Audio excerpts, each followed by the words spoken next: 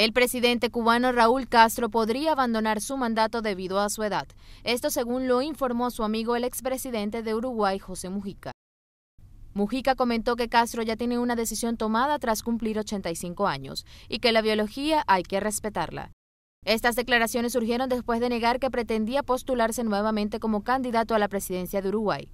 El expresidente estuvo de visita en Cuba como invitado principal del Premio Literario Casas de las Américas, donde también se reunió con Fidel Castro y con dirigentes de la guerrilla de la FARC, quienes se encuentran en La Habana negociando la paz con el gobierno colombiano. Mujica destacó los cambios que experimenta actualmente Cuba y explicó que existe la voluntad de cambiar la actividad privada pequeña de carácter familiar mientras el Estado se dedica a las grandes cosas.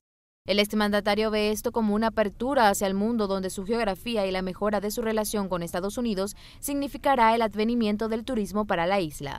Desde nuestra plataforma multimedia, Soray Lee, Rondon Notiminuto.